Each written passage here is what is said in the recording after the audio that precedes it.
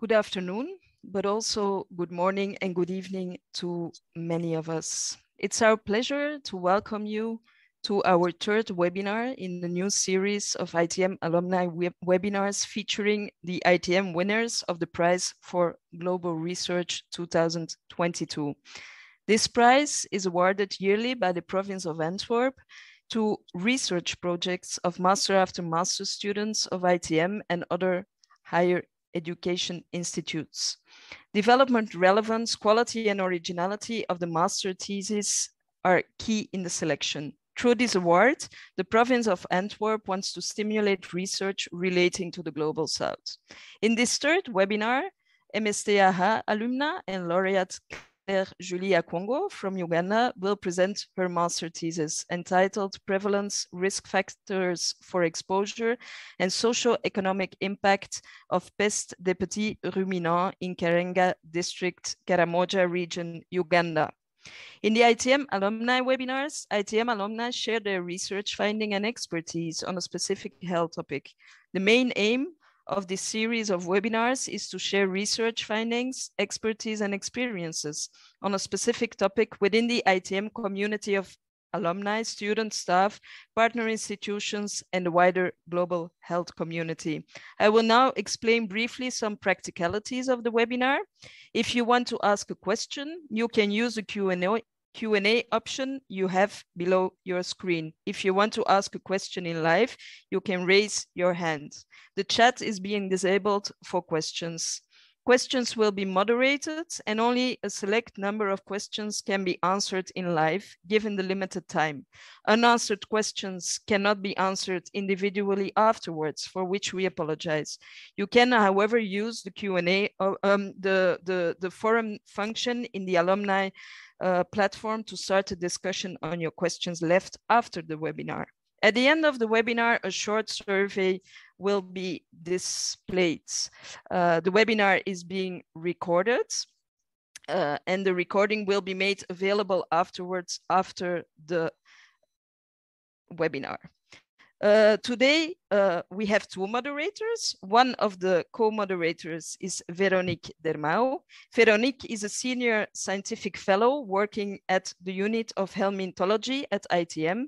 She's a veterinarian and a statistician. In 2013, she completed her PhD in veterinary sciences, and in 2015, she joined the unit. Her work focuses on zoonotic, helminth, and foodborne infections of veterinary and public health importance.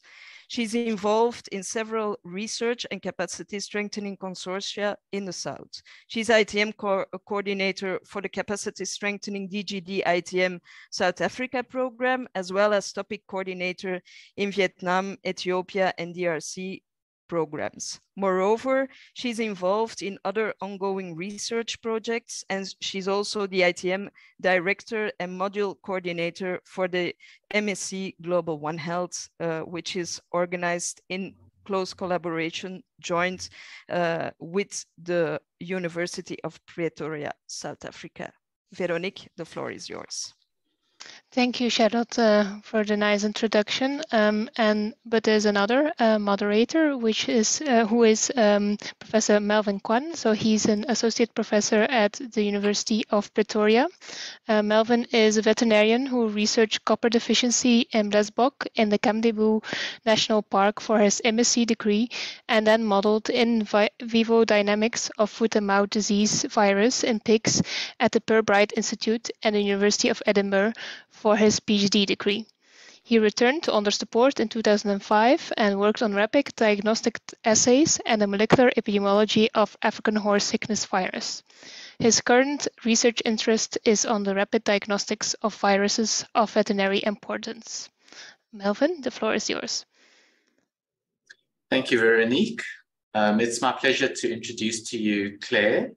Um, so Claire is a veterinarian uh, she graduated from Makerere University in Uganda in 2017. Um, and she pursued then a Masters of Science in Tropical Animal Health at the Institute of Tropical Medicine in Antwerp, uh, where she did the study that will be discussed today. Um, so she's a veterinary epidemiologist and her current work involves epidemiological studies of transboundary and zoonotic diseases, as well as design and implementation of disease surveillance and control programs. Over to you, Claire. Thank you.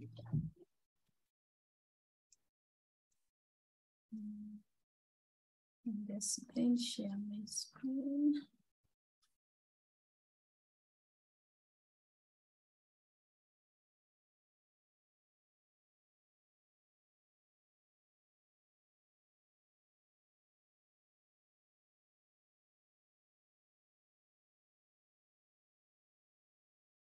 Exposure and socioeconomic impacts of PPR in Karenga district, the Karamoja region in Uganda. Uh, my presentation will give a brief background to the topic. Then I'll highlight the methods used and the results obtained. I'll further discuss my findings and give the conclusions drawn and the recommendations made. So PPR is a disease of mainly goats and sheep caused by the small ruminant morbillivirus. Uh, the, virus, the virus is lymphotrophic and epitheliotropic, and animals that are affected present with signs including high-grade fever, depression, painful, er er painful erosive oral lesions that prevent the animals from eating, uh, resulting in severe weight loss. Uh, animals affected also present with ocular and nasal discharges, severe pneumonia, and profuse diarrhea. PPR is ranked as one of the most important transboundary livestock diseases, especially in Africa, Asia, and the Middle East, and is associated with high morbidity and mortality rates. It is estimated that over two thirds of the world's sheep and goat population are at risk of being infected with the small ruminant morbillivirus and with uh, an estimated 2 billion US dollars lost annually due to the disease, it uh, affects the livelihoods of over 300 million farmers globally. And it is for this reason that the World's Organization for Animal Health has identified it and listed it as the next disease that we are looking forward to eradicating by the year 2030. So controlling PPR requires a good understanding of the epidemiological status and socioeconomic impact of the disease in a range of geographical locations and management systems. And area-specific information is critical to the design of interventions to control PPR. Uh, previous reports in Uganda estimate prevalences of PPR at 57.6 and 1.4% in other parts of Karamoja, and between 1.9 to 9.4% in the rest of Uganda. Um, Karenga districts presents a unique PPR epidemiological situation as it borders South Sudan and hosts the Kidepo Valley National Park.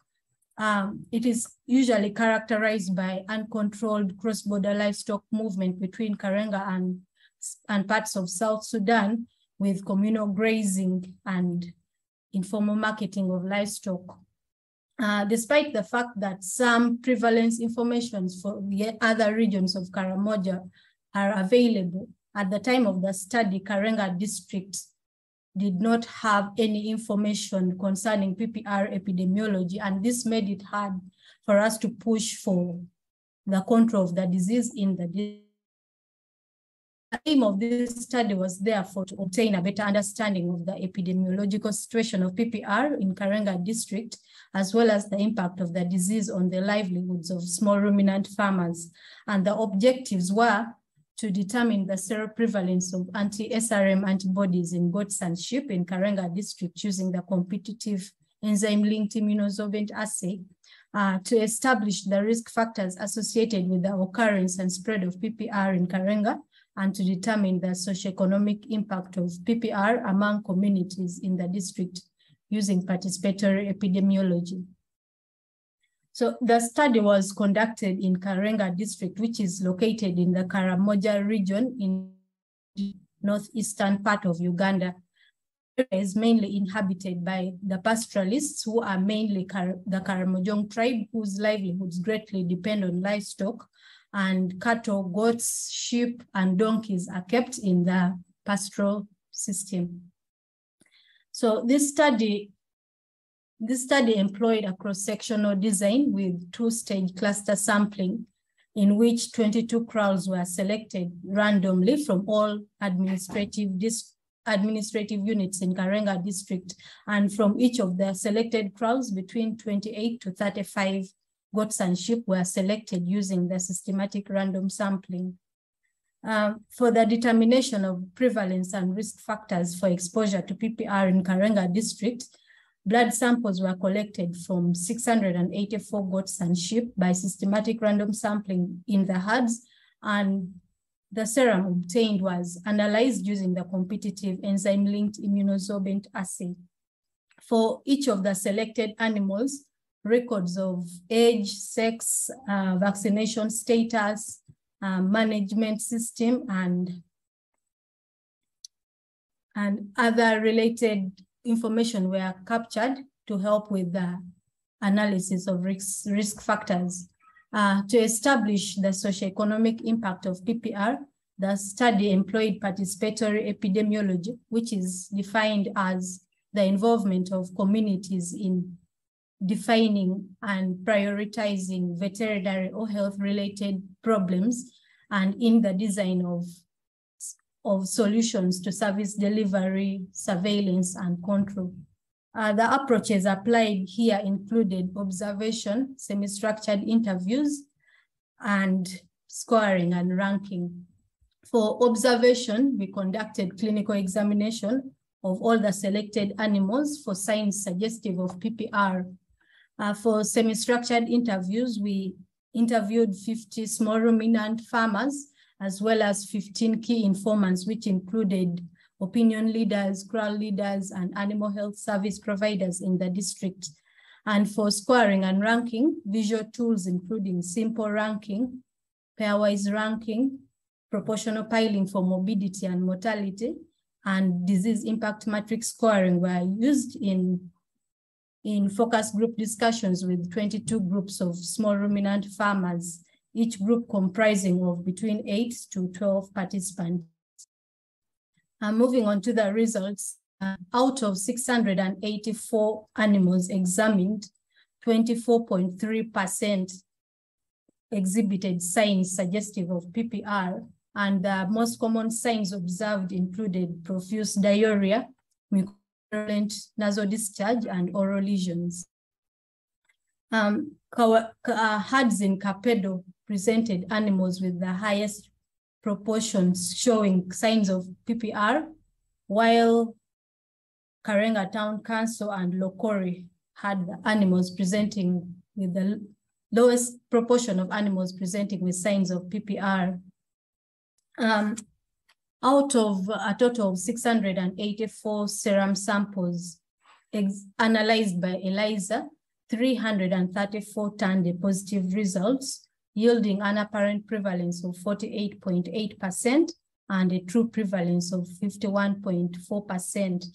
Uh, the final multivariable logistic regression identified location, animal species, and age as being the risk factors for exposure to PPR in Karenga districts. Uh, locations including Kapedo, Kawalakol, and Sangar had the highest number of animals presenting positive results, uh, while the odds of exposure was higher in sheep than goats, and also higher in older animals than the younger ones.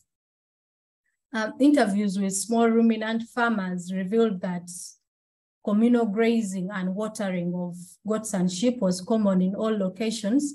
However, animals were separated by species and age group by most of the respondents. All of the respondents were aware of PPR, but only 6% were aware of its control or even its mechanism of transmission. PPR case management was largely through trial and error, in which only about 72% of the respondents treated the animals by themselves, while 24% accessed the services of community animal health workers and only 4% had access to paravets or qualified veterinarians. And the cost of treatment for PPR ranged between 1.5 to 5.5 US dollars. Uh, all the respondents indicated that there has not been any vaccination or against PPR or any other disease of small ruminants for the past three years. Um, on small ruminants trade, 82% uh, of the respondents indicated that they traded in lives in small ruminant animals to meet to, to meet immediate household needs, including um, payment of medical bills and school fees, as well as for nutrition purposes, while only 18% engaged in small ruminant business as a major source of income. And marketing of small ruminants was done both within the locality and also in other locations, including other districts, other regions, as well as other countries like South Sudan and Kenya. And in all these marketing places, there was no inspection of the animals by a qualified veterinarian.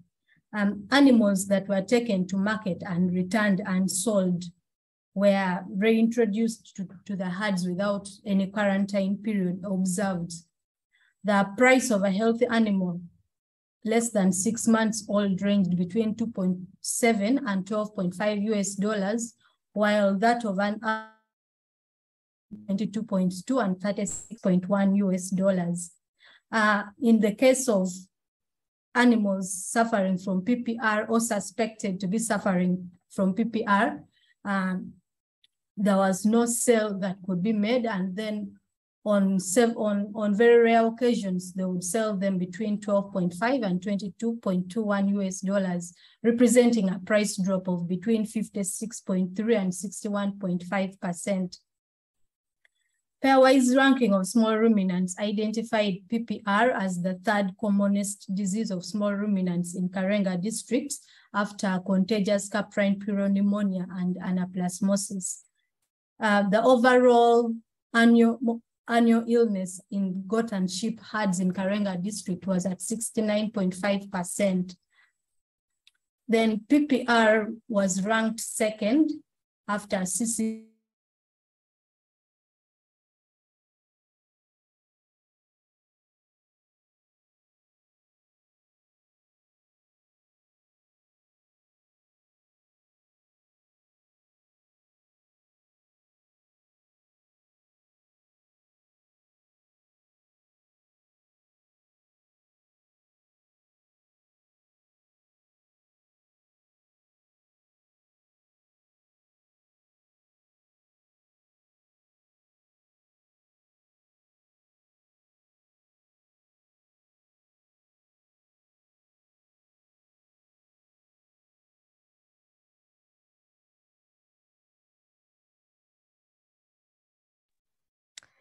looks like we're having a small technical problem. Um, Claire has, we've lost Claire. So let's wait for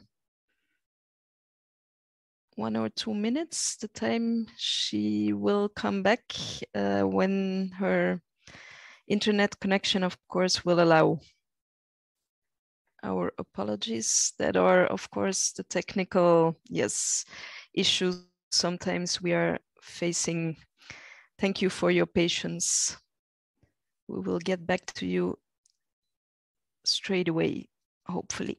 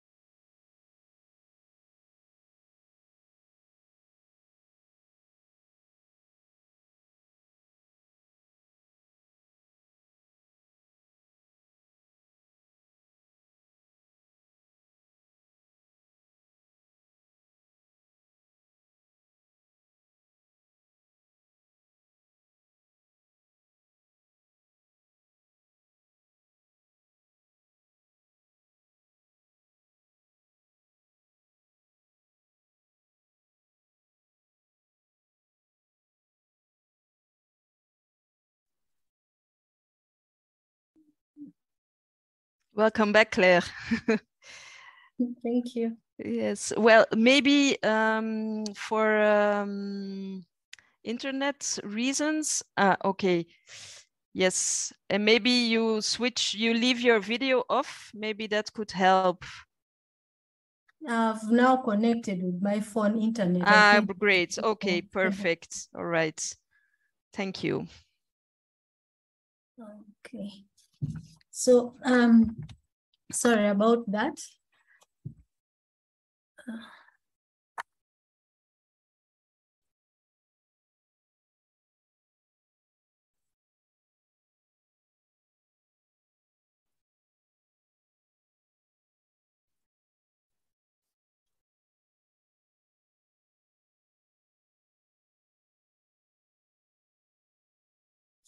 Okay, so um, we were presenting about the impact of the of PPR so the, um, the impact of diseases of small ruminants in Karenga district were mostly attributed to high treatment costs, high mortality rates, and low marketability of affected animals.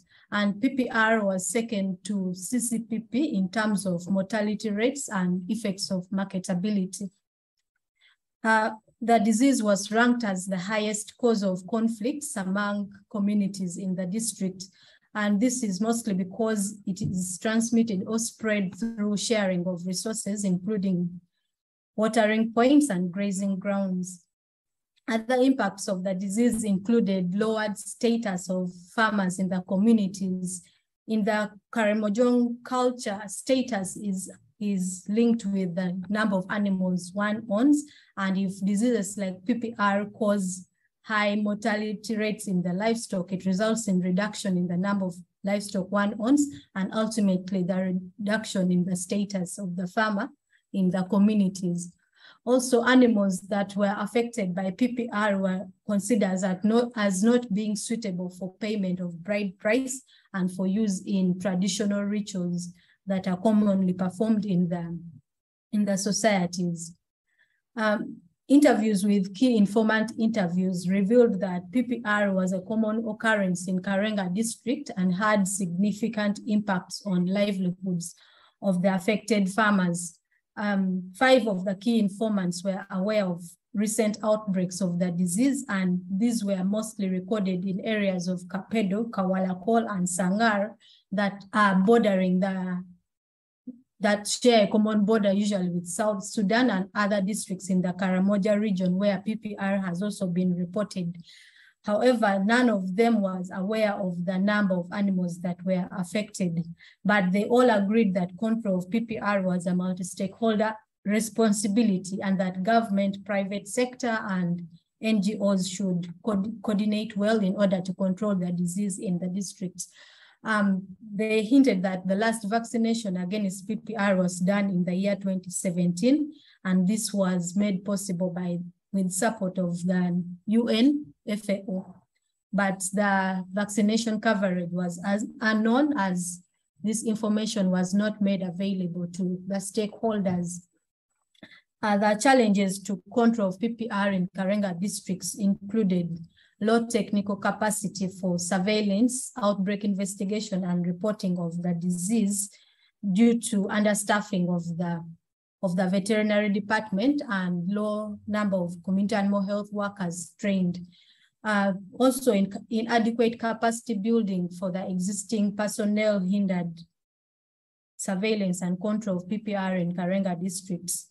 The key informants also noted that there were low incentives to attract private vets to the districts and the region as a whole to bridge the service delivery gaps.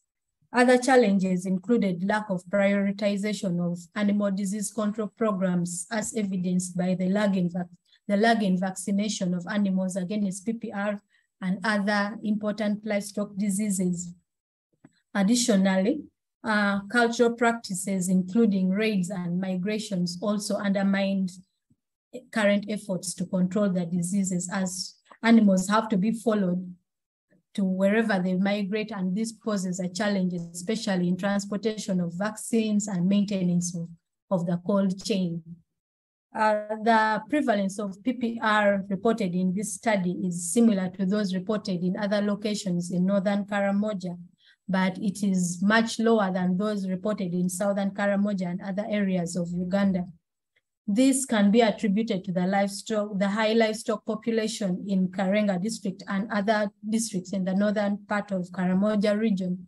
And coupled with the community communal grazing, this encourages overcrowding and increases contact of infected animals with susceptible animals.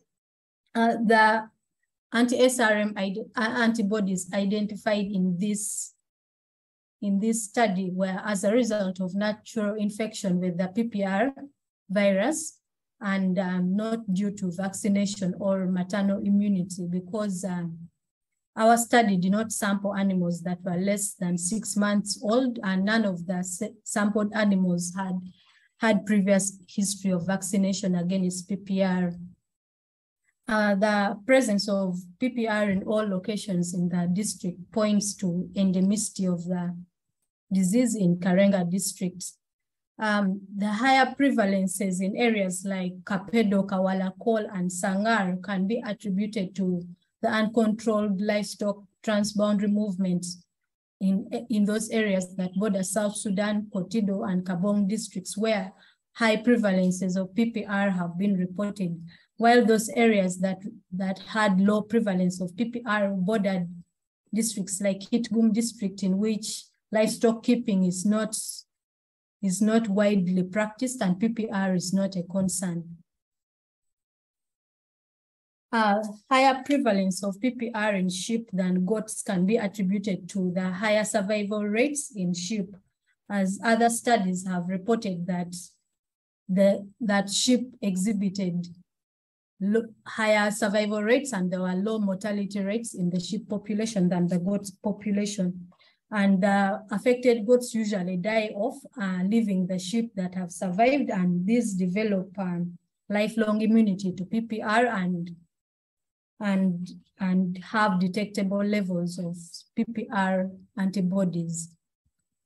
So this study highlighted that age, age is a, a risk factor for exposure to PPR, and this can be this can be justified by the fact that that passive immunity to PPR wanes off at, at three months, and then as the animal grows, it increases the risk for infection. And then this can also be attributed to the longevity of, of animals in the herd as, as older animals get to have more exposure time in the herd and therefore increases their risk for infection. Uh, the socioeconomic impacts of PPR reported in this study are likely to increase poverty and disrupt social functions in the district and increase inequalities, as well as the need for dependence on aid. And this directly impacts on the attainment of the sustainable development goals. Uh, we conclude that there is a relatively high prevalence of small ruminant morbillivirus in Karenga district, and the risk factors for exposure includes location, animal species, and age. Uh, PPR is the second most important disease of small ruminants in Karenga district, and it is widespread and endemic in the district. Uh, the disease directly impacts food security and livelihoods development. Uh, our recommendations to the district leadership as well as other stakeholders were to increase effective stakeholder sensitization about PPR and then build, capacity, build capacity for long-term impact of vaccination, including vaccine delivery, monitoring, and quality control. PPR control should be linked with control of other diseases, including contagious caprine pneumonia for a wider impact as these diseases also present a big challenge to animal production in Karenga district the feasibility of cost recovery can be exploited through groups and, associate, and associations of livestock keepers. Um, we also recommend that surveillance of PPR in the wild should be done to monitor virus maintenance in the wild, as this phenomenon is not clearly understood and more research needs to be done. It is also important to establish incentives to attract qualified veterinarians to work in the areas and to bridge the service delivery gap that exists. So I acknowledge the Institute of Tropical and Tropical Medicine, uh, the University of Pretoria, the district's local government of Karenga, and the College of Veterinary Medicine, Animal Resources and Biosecurity in Makerere University for supporting this study, as well as the DGD for, for funding the study and the pastoralist for, avail for availing their animals. I also thank my supervisors, Dr. Charles Byaruhanga, Dr. Melvin, Melvin Quan, and my colleagues, Mr. Stephen Kakoza, Mr. Joshua Ogenrot, and my interpreter in the field, Ms. Lona Lolem. I thank you for listening.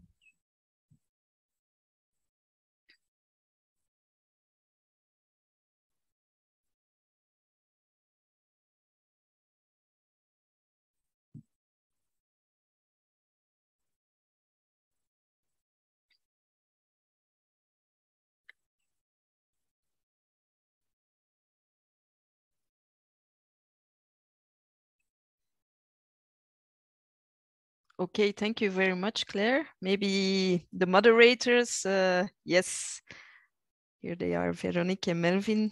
Uh, voila, the floor is yours uh, to launch uh, the discussion. Thank you.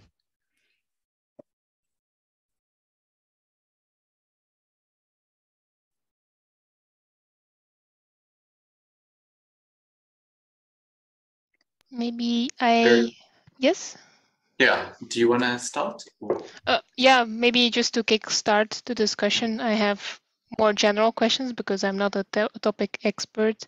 Um, so, as you know, um, Claire, um, the WOAH, the new name for OIE and FAO, they're very keen to eliminate this disease by 2030. Um, and they're quite confident that they can do that due to the similarities um, in terms of disease um, of uh, with rinderpest. Um, so based on, on your study and, and what you've learned about this virus, how far do you think we are in eliminating it?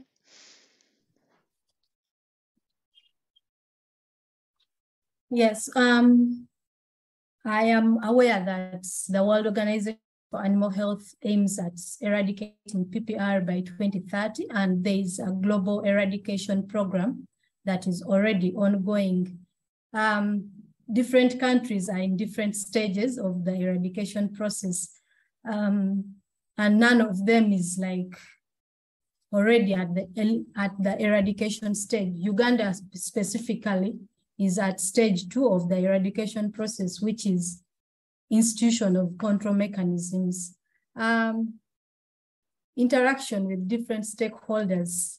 Yes, mo most of them are really optimistic that this can be achieved only if we do rigorous vaccination of livestock and if government and other stakeholders really support this eradication process because we have a very effective vaccine that provides immunity for at least three years after vaccination. So if all livestock are vaccinated, then we can be sure that this can be eradicated by 2030. Okay, and um, maybe something about the mode of transmission. Yeah, you mentioned it very briefly, I think. So, but could you explain a little bit more how how this um, virus is being transmitted and why it is indeed exactly in those marketplaces that a lot of transmission can occur? Yes, um, PPR is usually transmitted by by contacts with infected animals and um, all all bodily discharges, including the feces, um, mucus, can can have viable virus can have vi viable virus that can be transmitted from one infected animals to another. So at the drinking points when animals gather and congregate together, that is a way that it can be transmitted. And also at the grazing grounds, However, uh, research shows that the virus is very unstable outside the host because of the lipid envelope structure that can be easily destroyed by heat and um, organic solvents. So if, so there is that argument that people have that the disease cannot survive and outside the animal host for greater than four hours. Yeah. So if you're not in the immediate vicinity of an infected animal, you cannot, the, the other animals cannot be infected. Okay, thank you. So thank you, Claire, for your presentation. Um, so in, in the presentation, the prevalence um, in the Karamoja district was very high. It was 50% versus the rest of the country, which is 1%. Um, and then you had a table about um, where you had the prevalence in each sub county. And that varied a lot as well. Um, can you explain this variation in the prevalence in different parts of the country, this heterogeneity? Okay, so um, just to give us a brief history of PPR in the country. Um, so even if PPR was first reported in the Ivory Coast in the year 1942, in Uganda, our first report came in 2007 in the Moroto district, which is located in Karamoja region. And most most, most information tells us that this could be probably due to transboundary movement of livestock between South Sudan and Uganda and Kenya and Uganda. Um, the differences between Karamoja region and other regions of the country mostly lies in the livestock production system. Uh, in the Karamoja region, it is mostly agro-pastoral, and in some parts, it is the pastoral system where and where farmers move with their livestock from place to place, like from Karamoja to other regions or within the Karamoja region, but in different districts, looking for water and pasture. And this movement is usually seasonal. And they are usually, they, there are big dams in certain places where all animals congregate, especially in the dry season. And that is something that facilitates transmission of diseases because people come all the way from Turkana in Kenya to, to Kobebe Dam in Moroto district and other districts of Karamoja. While in the other parts of Uganda, most of the farms are usually settled and there's that, can I say, there's reduced um, contact between different animals from different farms. So there's limited interaction between different herds. So it's basically the transboundary movement and the congregation of livestock in different places, the unregulated live animal trade. However, um, right now in Uganda, there has been an increasing trend of, um, of transmission of PPR in the southwestern part of Uganda, even though it is not so similar to Karamoja, there are still other factors, including um, and I say movement, especially livestock trade where animals are bought from the Karamoja region and introduced to districts in the south due to probably government programs and other NGOs distributing animals. And these animals are not initially screened for the disease. So you've seen a shift from Karamoja to the southwestern part in the recent period. Okay, thank you, Claire. Can you see the the Q and A's? Mm, yes, I can. So there's a question from Elizabeth um, on how to identify depression in sheep and goats. Um, she's not a vet, so she's just like, how do you recognize a depressed animal? Depression, sheep and goats.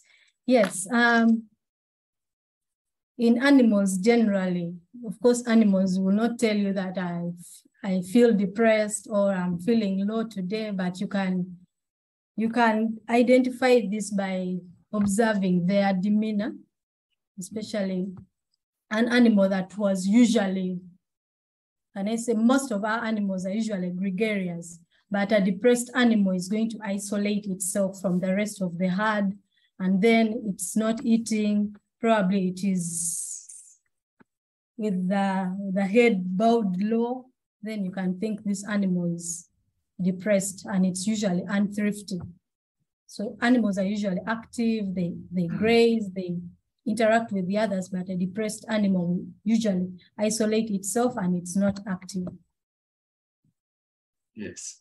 Uh, she's got a follow-up question um, on zoonoses. And is there much awareness among the general population on zoonoses? Um, and in case of low awareness, what could be some contextual barriers? Okay, just to clarify, PPR is not a zoonotic disease, but to answer that question, um, at this point, I can't tell where there is whether there is much awareness among the general population on zoonosis. It depends much on the category of people you're, you're speaking about and the geographical locations. I've been involved in um, awareness creation on Rift Valley fever and um, tenia, teniasis. Uh, yeah, in certain locations, people know that these diseases exist. But the challenge comes to understanding how it is transmitted, like how do people get these diseases and what can we do to control or prevent the disease. Uh, like the recent outbreak of Rift Valley fever in the western part of the country, we, okay, most people did not know where the, the diseases came from but they just heard that there was a death due to Rift Valley fever. So we had to come in and inform them of how the disease is spread, how they can protect themselves, and the role livestock play in the transmission cycle. So it really depends on the context. Okay, thanks. I think Benedict has a question. Benedict. Hello. Hi, Claire. Hi, Benedict. Nice to see you and nice to see everybody. Been long. so uh, that was a very good presentation, Claire. I really enjoyed it. Uh, I just have a few things, uh, maybe two or three things I wanted to ask. One is uh, Karenga region has very high prevalence, like you've highlighted, and even in literature. And one of the things you've highlighted is one is because of the location. It is it is neighboring South Sudan and Kenya. But I'm just wondering, you you did um, you uh, what about you? You've said vaccination works but vaccination seems low in that region. What is the vaccination coverage in other regions? I didn't hear it in other areas of Uganda. If it's a factor, uh, if, if it's working, why is the coverage of vaccination higher in other regions? That is why it's lower than Karenga, or what is the coverage of vaccination in other regions? Uh, while you think of that, you talked about um, sheep having um, higher prevalence than goats. And your reason was the survival rates, which I uh, personally, I wouldn't say it's conclusive because that doesn't talk much about susceptibility uh, between sheep and goats. Uh, are they are there variation in terms of how susceptible they are to the disease? And is this something to do with their genomes or I don't know, genetics or I don't know. It's, it's something I would have also wished to hear. And then the last thing is, although the sales drop, just out of curiosity, why do people buy? Because did you maybe interview any of people who buy them? And because you said you can't use them for bride price and other other things, so why would you buy an infected animal? Just out of curiosity. Thank you. Thank you, Benedict um, vaccination coverage in Karenga district and in other areas. Yes, um, at the time of the study, uh, we, we were informed that there has not been any vaccination against PPR since 2017, and that, that is like three years past. Um, probably the most hindrance to vaccination in Karenga district and other parts of Uganda is majorly the availability of the vaccines. Sometimes the, the doses procured are not enough to cover the whole country or even the whole district. So usually they, they receive the vaccines upon request from the district veterinary officer. But in the case of Karenga district, the district had only one animal health personnel in the district who is not even a qualified veterinarian, but is a paravet and he's supposed to be based in one single sub-county and but because of the um, service delivery gap, he's, he's now handling the whole district and probably he does not know the modalities of how to request for these vaccines from the Ministry of Agriculture. Um, in other areas, it's the same story.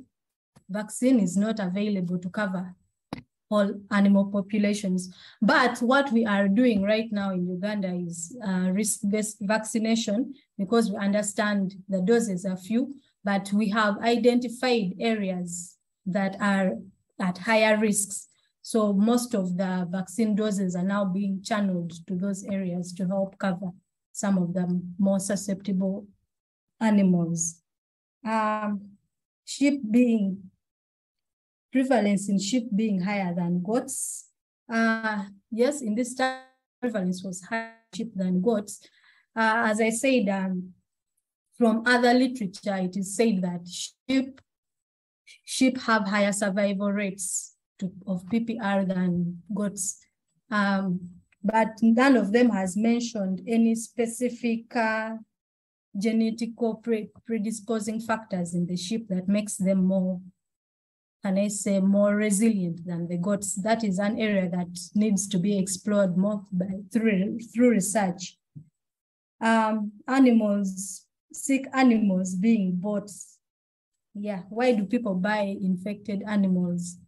Uh, unfortunately, I did not interview livestock traders in this study, but from interaction with the communities, I know that usually people go ahead and buy sick animals because at this rate they are selling them at lower rates than they would in a normal animal.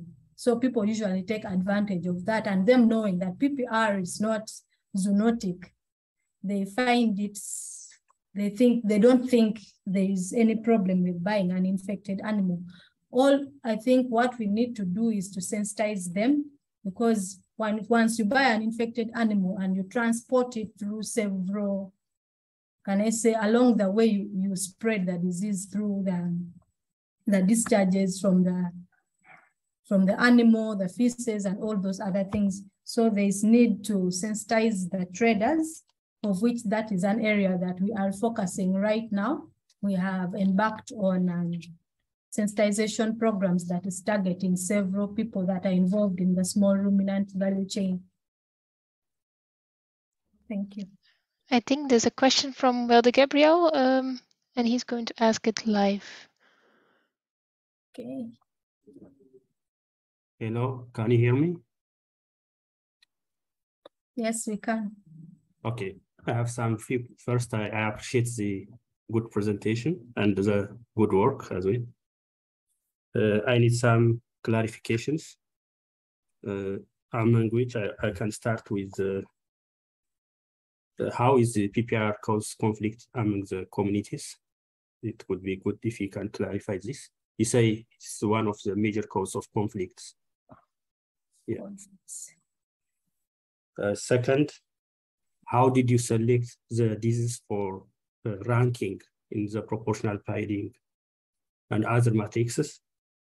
For example, in Ethiopia, in pastoral communities, uh, we see that uh, pox sheep and goat pox, anthrax, and orphan, so some other major diseases. But I see on your ranking, CCPP, pyroplasma, trips, and so on. So how did you select this disease with PPR for ranking?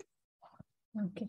Uh, did you make some survey to select these top diseases? Maybe the other, uh, it would be important. Maybe, to... sorry to interrupt you, but Gabriel, maybe Claire can already start with those and then we'll see where we get uh, in terms of time. Thank you for your questions. Okay. Okay, I have some more, so I will just quickly address them. Okay. Yeah. How does PPR cause conflicts?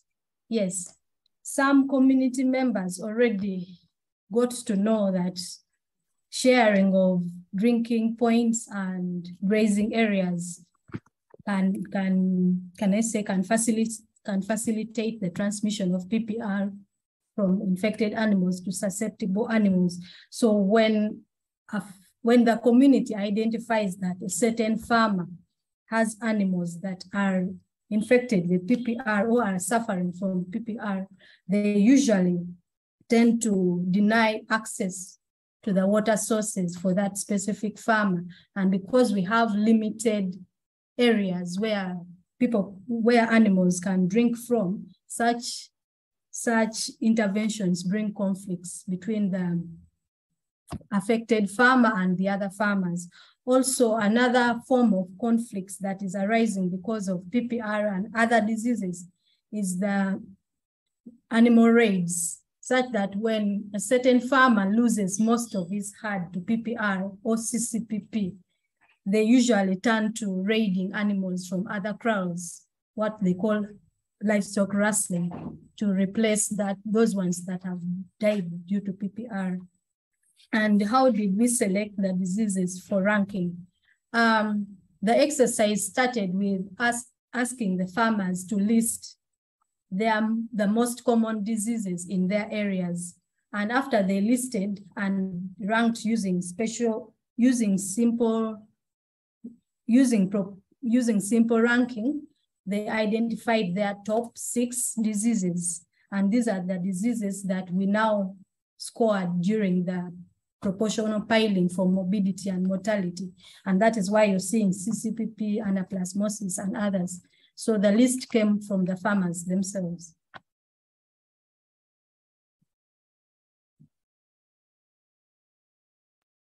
I think there's a, another question in the Q&A about um, bias in this study. So yeah, it's a bit a broad question, but could you identify some sources of bias that might have been there in your in your study? Yeah, the sources of bias I could think of in this study, especially on the side of the participatory epidemiology part, is um, since we were asking farmers to recall what happened during the course of one a period of one year. So there could be could have been recall bias among the participants and some of them could have could have thought that we were going to bring in some interventions. So they usually try to make sure that they bring PPR and highlight it as something so big in the community. So that's what I can think of. But also when you look at the triangulation we did with the laboratory investigation, it kind of proves that what they were telling us was true because we saw the prevalence was really high. This follows on to the next question from Una about um, your experience of conducting the particip participatory epidemiology and were there any specific challenges? Oh yes, um, conducting the participatory epidemiology. Okay, let me talk about the whole study because we actually did both the sampling and the participatory epidemiology within the same time. And knowing that there was a COVID outbreak at that time, first of all, we it was very difficult for us to interact with the communities extensively because you had to also take precautions. Uh, sometimes um, and then me not being able to understand certain things that they were saying, language barrier, because I don't come from that region. However, I had um, uh, a translator who is a native of that region and has a background in animal health, so she was able to help me during that the, the engagement with the communities. Uh, we had little time to conduct the 22 focus focus group discussions and at times the farmers got tired because some of the questionnaires were really long but of course we encouraged them and let them know that this was going to help them and their animals because we would forward the results to the district and help in uh, planning interventions to control PPR. Uh, the other challenge was, um, yes, we went we went to conduct this assignment at a time when the place was becoming more insecure. So that, so our lives were at risk. Animal raids were increasing, as well as um, warriors attacking people who are looking for information to do with livestock. And up to now, the situation has not reduced. So we had to be cautious during the activity. And farmers, when you go to ask about their animals, they will be suspicious about you. Yes.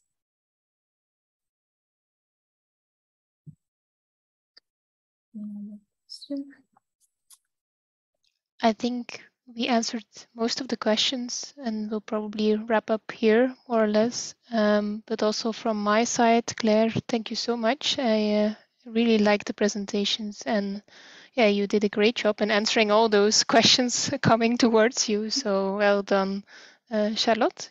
Or Melvin, you want to add something? No, just to say very well done, Claire. I agree. You answered the questions very well.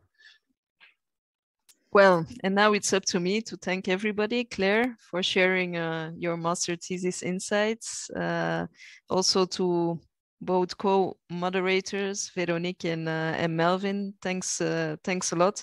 Also to the participants uh, for uh, engaging in the discussion and for for asking your questions. Um, please let me ask you to complete the polling. Eh? That it's always helping us to uh, to improve also um, the the webinars and to gather your feedback uh, on uh, on possible uh, topics and themes.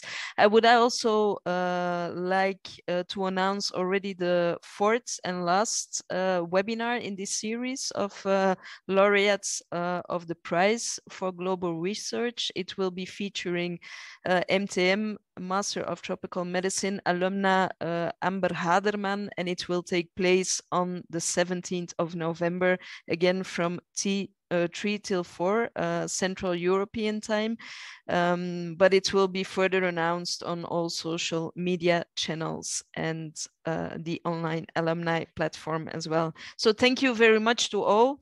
Uh, stay safe and healthy, and uh, thank you once more uh, to all of you for participating. Looking forward to seeing you in the next webinar. Thank you. Thank you. Bye-bye. Bye. Bye.